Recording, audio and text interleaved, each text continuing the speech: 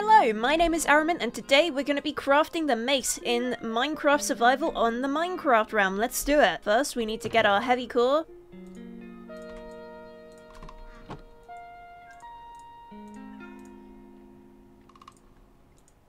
And just like that, that's how you craft a mace in Minecraft. Thank you for watching. I hope you enjoyed. If you enjoyed this video, check out some of the other videos on the channel, and I'll see you next time. Bye bye!